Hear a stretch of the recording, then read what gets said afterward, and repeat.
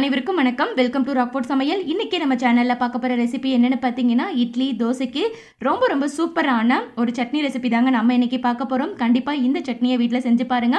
இப்போ இந்த சட்னி எப்படி செய்யுதுன்னு பார்க்கறதுக்கு முன்னாடி புதுசாக நம்ம சேனலில் பார்க்குறவங்க மறக்காம கீழே இருக்கிற ரெட் கலர் சப்ஸ்கிரைப் பட்டன் பக்கத்தில் இருக்கிற பெல் சிம்பிளையும் மறக்காம கிளிக் பண்ணிக்கோங்க. அப்பதான் அடுத்தடுத்து போடுற புத்தம் புது வீடியோக்கள் உங்களுக்கு உடனுக்குடன் நோட்டிஃபிகேஷனாக வந்து சேரும். இப்போ இந்த சூப்பரான சட்னி எப்படி செய்யுதுன்னு பார்க்கலாங்க.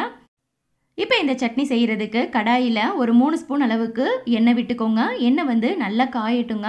எண்ணெய் நல்லா காஞ்சதுக்கப்புறம் அடுப்பை மீடியம் ஃப்ளேமில் வச்சுட்டு இதில் அரைக்கப் அளவுக்கு வறுக்காத நிலக்கடலை சேர்த்துக்கோங்க. இப்போ ரெண்டு நிமிஷம் நிலக்கடலை அந்த எண்ணெயில் நல்லா வறுபட்டதுக்கப்புறம் இதில் கால் டீஸ்பூன் அளவுக்கு வரமல்லி சேர்த்துக்கோங்க. மல்லி சேர்க்கும்போது இந்த சட்னி நல்ல டேஸ்ட்டாக இருக்கும். அதனால் ஒரு கால் டீஸ்பூன் அளவுக்கு வரமல்லி சேர்த்துட்டு அதையும் அந்த நிலக்கடலையோடு சேர்த்து நல்லா வறுத்துக்கோங்க. இப்போ மல்லியும் நிலக்கடலையும் நல்லா வறுபட்டதுக்கப்புறம் இதில் ஏழு வரமிளகா நான் சேர்த்துருக்கேங்க. காரத்துக்கு தகுந்த மாதிரி நீங்கள் வரமிளகா பார்த்து சேர்த்துக்கோங்க. அதுக்கப்புறம் இதில் ஒரு கொத்து அளவுக்கு கருவேப்பிலை சேர்த்துட்டு இது ரெண்டுத்தையுமே நல்லா வறுத்துக்கலாங்க.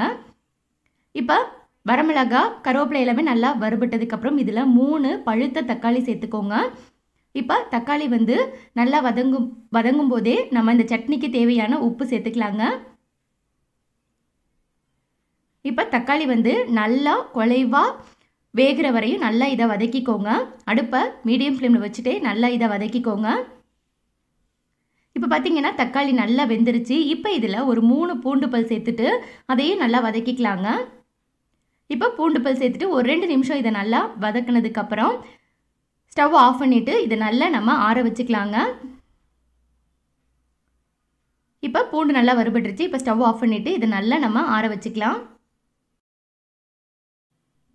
இப்போ தக்காளி எல்லாமே நல்லா ஆறிடுச்சுங்க இப்போ இதை மிக்சி ஜாருக்கு மாற்றிக்கலாம் இப்போ மிக்சி ஜாருக்கு மாற்றினதுக்கப்புறம் இதில் கொஞ்சமாக கொத்தமல்லி இலை சேர்த்துக்கோங்க.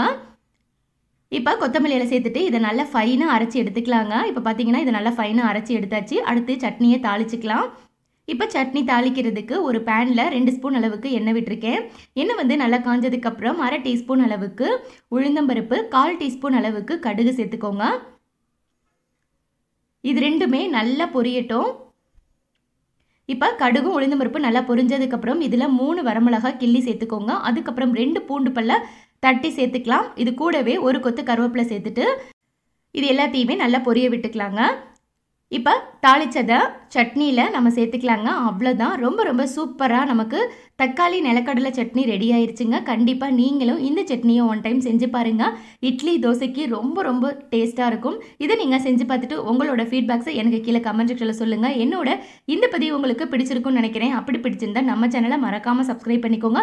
பக்கத்தில் இருக்கிற பெல் சிம்பிளை மறக்காமல் கிளிக் பண்ணிக்கோங்க. அப்போ தான் அடுத்தடுத்து போடுற புத்தம் புது வீடியோக்கள் உங்களுக்கு உடனுக்குடன் நோட்டிஃபிகேஷனாக வந்து சேரும். என்னோட இந்த பதிவை பார்த்ததுக்கு நன்றி.